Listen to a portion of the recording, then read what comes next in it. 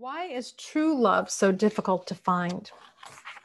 I think that that question was asked in anticipation of Valentine's Day. And I would say the only reason that humans can imagine that true love is hard to find is because we look in all the wrong places. true love, capital T, capital L, is, is, is our divine self, is our self that's unconditional love.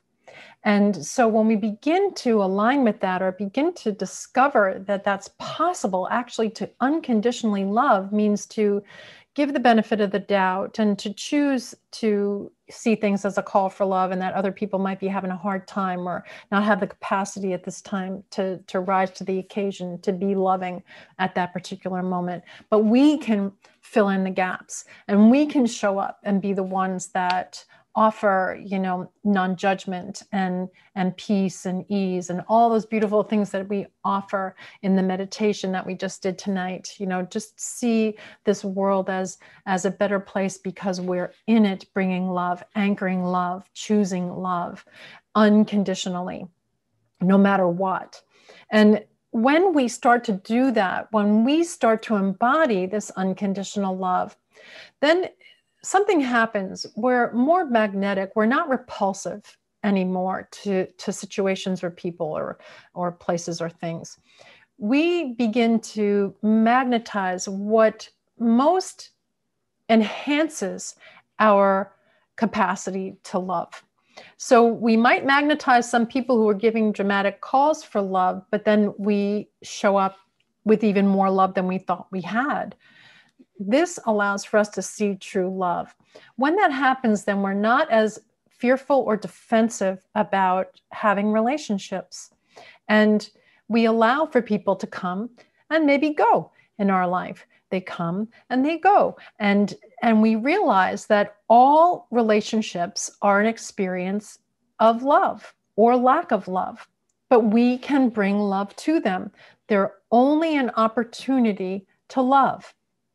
Once you realize that all relationships are an opportunity to love, whether it's with a table or whether it's with uh, your car or whether it's with a human being or a family member or somebody who you, you just met that you in passing on the street offer you know kindness you start to realize that true love is present and available always. It's it's we are the ones who shut it out or turn off our capacity to see it or to engage with it um, I suppose you mean in that question about true love meaning a romantic partnership.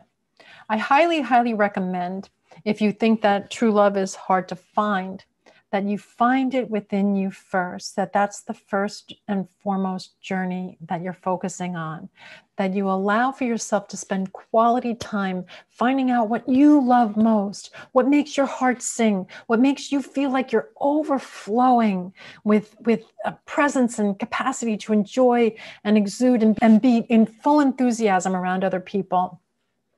Let yourself love yourself more than you ever knew was possible, and you'll begin to see that true love is not evasive, that it's available always. And then you'll see that if that's an intention of yours to bring someone into your life that can share that kind of beautiful experience with you, they'll arrive. I promise you, if you love yourself impeccably first, then the perfect partners will arrive for you in all kinds of ways, in beautiful experiences, partners for for um, endeavors that might be, you know, with work or um, people in your family might show up even more present than ever before. And then also people that can be enhancing your life in, in a beautiful and romantic way as well.